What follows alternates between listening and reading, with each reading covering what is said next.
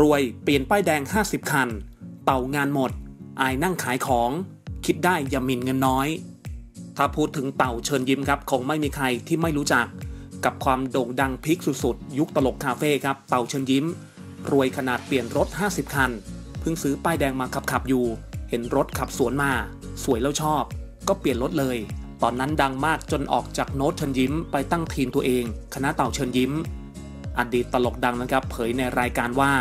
ตัวเองแจ้งเกิดบอลเชิญยิ้ม แต่ที่เขาดังตอนนี้เพราะเขาเก่งเอง แต่เขาเคยเล่นคณะเรา แล้วมีคนเห็น เลยได้ไปออกรายการต่างๆ ตอนเราทำคณะเองก็มีเงิน ส่วนสาเหตุชีวิตพลิกผันนั้น เต่าเผยว่าต้องบอกก่อน เวลาเล่นตลกแขกจะส่งแก้วเหล้าห่อแบงค์ห้าร้อยแบงค์พันมาก็ต้องกิน จนติดไม่รู้ตัว พอมีบริษัทใหญ่ๆมาจ้างงานออกรายการ ก็เล่นไม่ได้เต็มที่ เพราะแฮง งานเริ่มหมด โดยไม่ได้เห็นออกสื่อแล้ว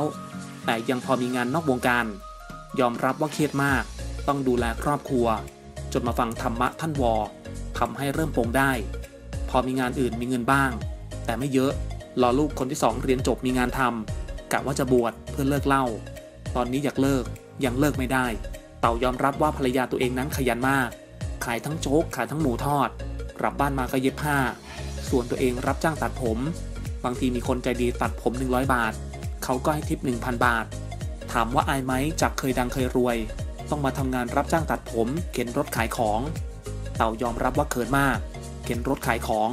แต่เห็นป่าเทพพี่ชูศรีก็ขาย เราจะอายทำไม คืออย่าหมิ่นเงินน้อย อย่าคอยวาสนา อยากเตือนสติคนกินเหล้าอย่ากินมาก จะเจอวิกฤตเหมือนตนเอง เต่าเชิญยิ้มกล่าวครับ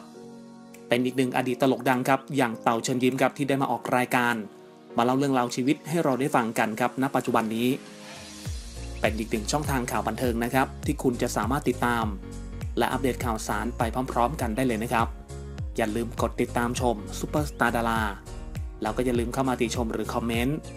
มาร่วมแชร์ร่วมแสดงความคิดเห็นกันได้เลยนะครับ ที่สำคัญครับต้องขอกราบขอบพระคุณทุกท่านมาก ๆ ด้วยนะครับ